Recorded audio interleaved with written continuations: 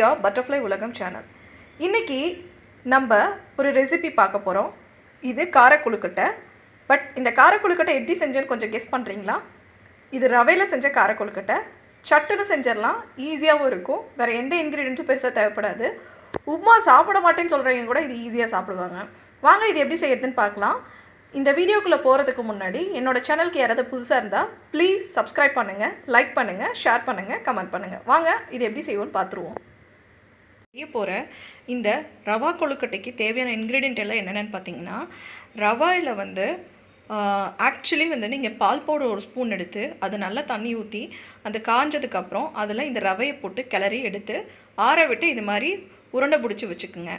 இது என்ன ப்ரொசீஜர் நான் சொல்கிறதுல உங்களுக்கு புரியல அப்படின்னா இதுக்கு முன்னாடி இருந்த ஒரு வீடியோவில் நான் ரவாவில் வந்து குலோப் ஜாமுன் செய்கிறதுக்காக அதே ப்ரொசீஜரை ஃபாலோ பண்ணியிருப்பேன் நான் டிஸ்கிரிப்ஷன் பாக்ஸில் லிங்க் தரேன்.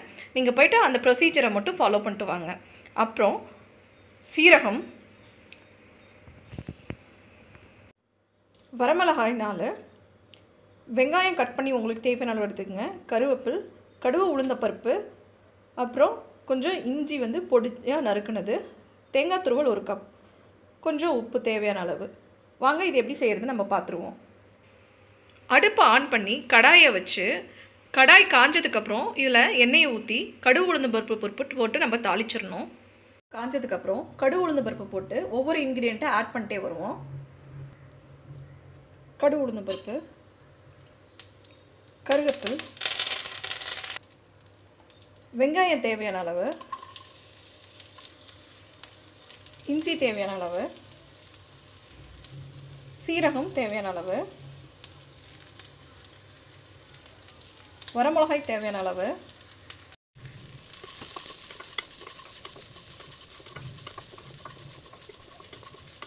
பார்த்தீங்கன்னா அந்த வெங்காயம் நல்லா வணங்கிருச்சு.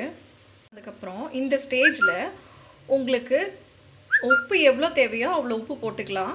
ஆனால் உப்பு போடுறதுக்கு முன்னாடி உங்களுக்கு இந்த மிளகாயோட காரம் பத்தாதுன்னு நீங்கள் நினச்சிங்கன்னா உங்கள் வீட்டில் இட்லி பொடி இல்லை கருகப்பில் பொடி இல்லாட்டி வந்து எள்ளு பொடி கடலைப்பொடி இது மாதிரி ஏதாவது ஒரு பொடி இருக்குது அந்த ஃப்ளேவர் உங்களுக்கு பிடிக்கும்னு நினச்சிங்கன்னா வந்து இதோட மிக்ஸ் பண்ணிக்கிட்டிங்கன்னா இப்போ இந்த ஸ்டேஜில் நீங்கள் போட்டிங்க அப்படின்னா இன்னும் டேஸ்ட் நல்லாயிருக்கும் நல்ல காரசாரமாகவும் இருக்கும். என் வீட்டில் இன்றைக்கி வந்து கருகப்பில் பொடி இருக்குது ஸோ நான் அதை ஆட் பண்ண போகிறேன்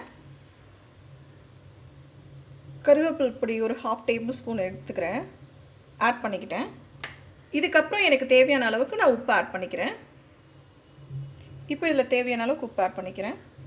நான் கொஞ்சமாகவே ஆட் பண்ணிக்கிறேன். ஏன்னா கருவேப்பில் பொடியில் உப்பு இருக்கும். ஸோ நான் கொஞ்சமாகவே ஆட் பண்ணிக்கிறேன். இந்த கருவேப்பில் பொடி உப்பு இதெல்லாம் நல்லா அதில் ஆட் ஆனதுக்கப்புறம் நம்ம துருவி வச்சுருக்கிற தேங்காய் இதில் ஆட் பண்ணிடுவோம்.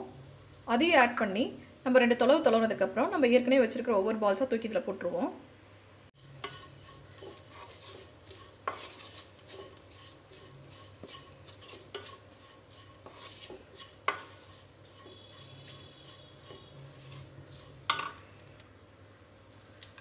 ஓகே வியூவர்ஸ் இப்போ இதில் ஆட் பண்ணிடுவோம்.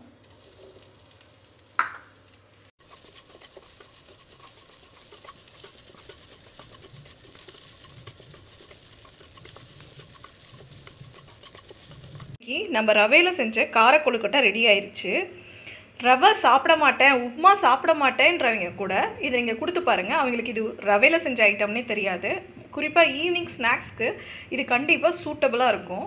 நீங்கள் இதை கரெக்டாக மறக்காமல் ட்ரை பண்ணி பாருங்கள் பிடிச்சிருந்தா லைக் பண்ணுங்கள் சப்ஸ்கிரைப் பண்ணுங்கள் ஷேர் பண்ணுங்கள் கீழே கமெண்ட் செக்ஷனில் உங்கள் கமெண்ட் எல்லாம் சொல்லுங்கள் தேங்க்யூ டு ஆல்